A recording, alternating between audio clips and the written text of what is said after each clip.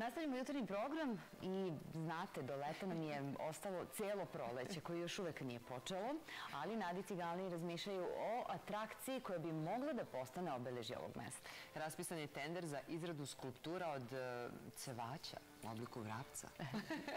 o tome nam gore Nataša i njen sagovornik Nataša Cveće.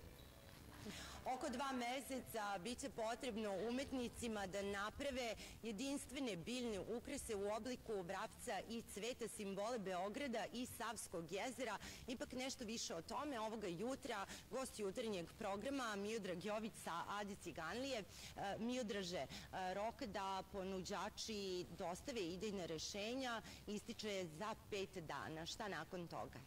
Nakon toga biće izabrano najbolje rešenje u skladu sa, sa skicom koje je dalo javno prezaveća Ciganlija. Kao što ste rekli, mi želimo da to bude cvet kao simbol Adi Ciganlije i vrabac kao simbol Beograda. Nakon toga će umetnicima trebati između 60 i 90 dana da postave tu jedinstvenu topenu skulpturu koja će svakako biti jedan od prepoznatijih simbola Adi Ciganlije. I evo samo vaša želja je da to bude u blizini kružnog toka, međutim postoji mogućnost da zbog navodnjavanja bude na nekom drugom mestu.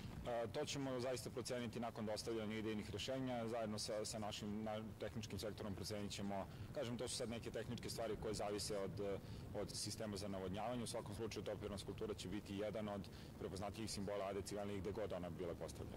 Iako je kalendarski još uvek zima, svaki vikend lep i sa visokim temperaturama Beograđani koriste da posete Savsko jezero. Vi ste već i počeli pripreme za letnju sezonu.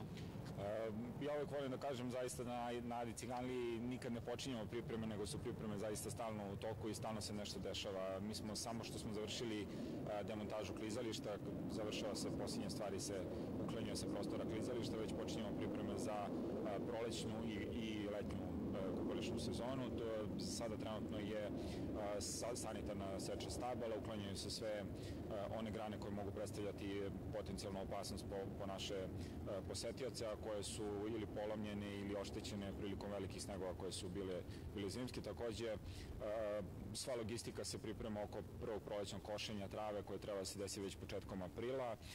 Kosačica za košenje podvodnog bilja u Savskom jezeru će biti ubačena u najkraćem mogućem periodu i zavisnosti, kažem, prevashodno od vremenskih uslova, trebalo bi da već kraj marta, početkom aprila bude obavljeno i prvo košenje koje će zatim redovno da se obavlja sve do novembra. Najlepše hvala na uključenju u jutarnji program. Naša ekipa i narednih dana na Savskom jezeru, svakako i onog momenta kada budu postavljene jedinstvene biljne skulpture Beograda, ali i Savskog jezera. Dušice, Sanja, toliko za sada za ovo uključenje. Hvala ti.